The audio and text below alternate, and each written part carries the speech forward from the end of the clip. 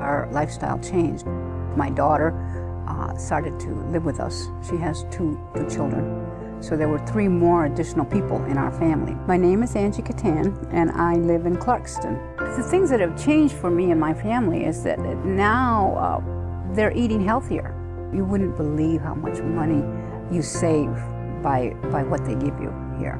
There's a lot of uh, produce, fresh fruit, and, and meat, you know, uh, expensive meats that you can't afford it. When you have a, a large family, you don't eat like that. You know, you eat meat and potatoes, you know, things all the time. But this way, yeah, they've, they've gotten a lot of, a lot better quality of foods and fresh and um, healthy.